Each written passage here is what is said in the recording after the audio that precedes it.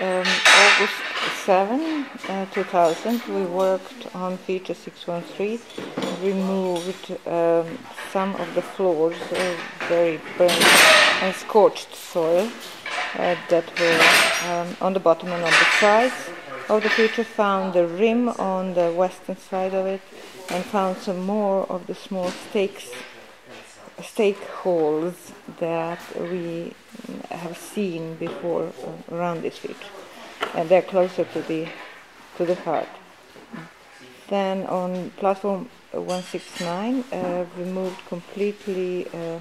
the fire installation that was towards the south wall, and we are at the bottom of it now, and started removing the floor level, which should be the last of the D floor uh, and the beginning and also the C floor partially. These are all the packings um, on the platform which are sitting on the nice white floor that we I don't know exactly which face it belongs to. Uh, then the work continued in the center of the house and uh, feature 606 and this is where we uh, remove the portion, uh, remaining portions of east-west uh, control profile, and then uh, saw the larger cut in the central space, which we could see earlier. It was smaller size. Now it's larger size. When we remove, once we removed the bulk, and we also have a, a very nice fire installation, uh, which, or oh, it might not even be fire installation, but some other feature with a floor covered with a thin layer, black layer, and then thicker black uh, compacted remains on top of that. And in the middle of it is a, a, a block left for micromorphology. Uh, then in the burial, in the uh, feature platform, uh, feature six, uh, 162, continued excavating the burial where we had the scattered bones and um, have discovered that most of them are going towards the the bones are still visible in in the fill, but they're sort of going towards the north, which means that we have to enlarge the area of the excavation, which coincides actually with a, a cut that we can see from the floor. Uh, and then in feature six, uh, three,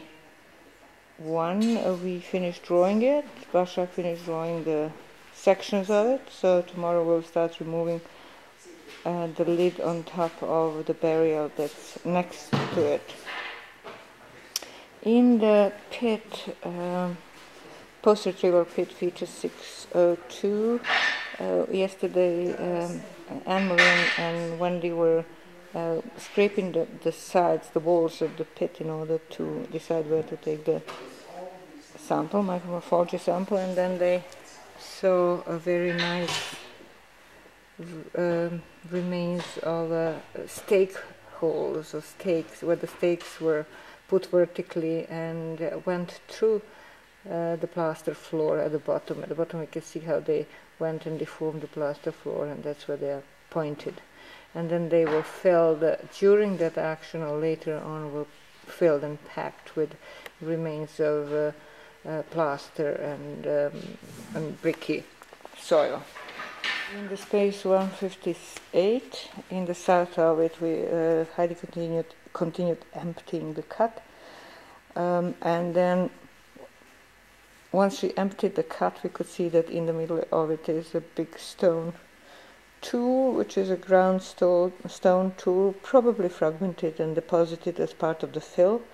in this cut that was uh, an earlier cut in this space and uh, made before uh, and filled before um, the shoring wall was put on top of it.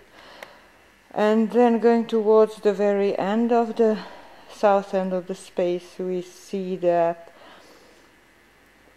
uh, the oven floor is there exposed even more than before, and the oven went all the way to into the uh, west wall, or in this case, late west wall, and then we can also see that the edge of the oven, or rather the the yeah the the west edge of the oven was made also of convex convex bricks, and here is an example one which is still in place there. and um, uh, the niche feature 607 was uh, deposited right on top of this oven. Now this oven is strange in the sense that it was in the very uh, southwest corner of the building, which is sort of unusual place for it, and also that it belongs to uh, the, most likely to the period when the internal wall, feature 161, was not here, but this was large open space, or the internal walls were different than these ones that we see today. In the north uh, part of space 158, uh, the west wall, late west wall, feature 622, we continued removing the bricks and we went down quite consider- considerably and close to the remains of an earlier floor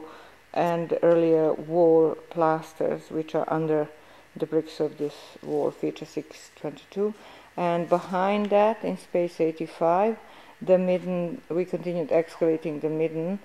And if it was, wasn't for this bucket and this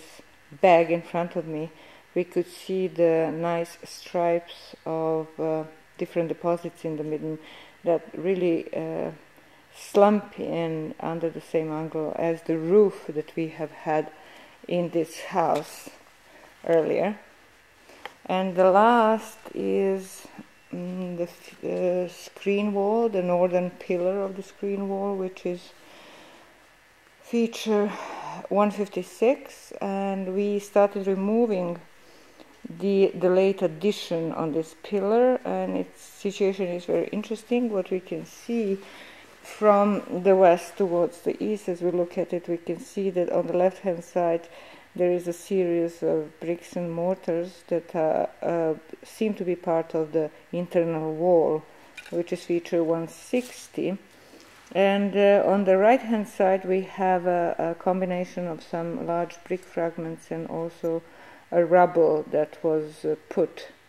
uh, around this feature that is an earlier screen wall, which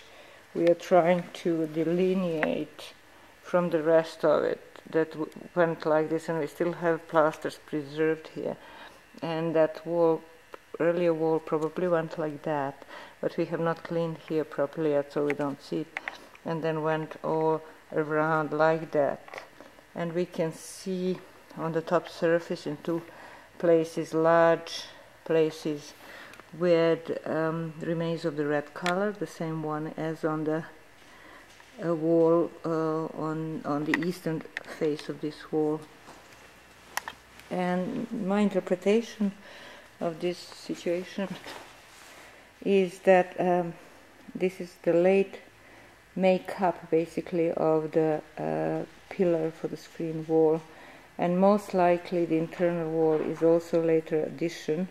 because it seems that the internal wall bricks uh, go on top of the rubble that was that was a part of later addition to uh, the pillars. So this is the rubble, and this is the the wall, and uh, in some instances this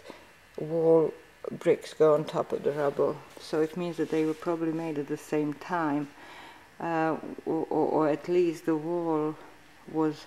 made up at the same time as this addition, rubble addition was added to the pillar, and because at that time it was ar- arranged deliberately so that they overlap slightly.